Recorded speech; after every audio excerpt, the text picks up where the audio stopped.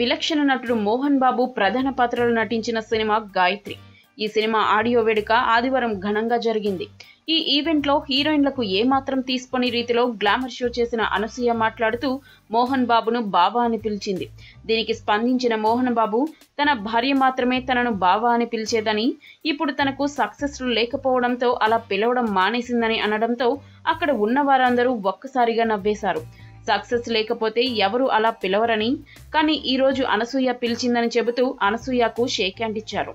తన ప్రతి సినిమాలోనూ ఎవరో ఒకరితో గొడవ ఉంటూనే ఉంటుందని పేర్కొన్న మోహన్ బాబు ఈ సినిమాకు చాలా కంట్రోల్ చేసుకున్నానని తెలిపారు. గొడవ జరగకూడదని భగవంతుడికి ప్రార్థించి మరీ షూటింగ్కి వెళ్ళేవాడని అని పేర్కొన్నారు. ఇక ఈ వేడుకకి అనసూయ వేసుకొచ్చిన హాట్ డ్రెస్ ఫిల్మ్ నగర్లో హాట్ టాపిక్ అయింది. నిండుగా డ్రెస్ వేసుకొచ్చిన గాయత్రి హీరోయిన్ శ్రేయ అనసూయ ముందు తేలిపోయింది. కెమెరాల ఫోకస్ అంతా అనసూయ మీదే నిలిచింది.